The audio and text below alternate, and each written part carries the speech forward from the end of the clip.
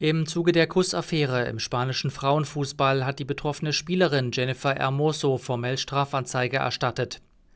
Dieser Schritt sei Voraussetzung für eine Fortsetzung der Ermittlungen gegen Verbandspräsident Luis Rubiales, hieß es aus dem Büro der Staatsanwaltschaft. Rubiales wird sexuelle Nötigung vorgeworfen.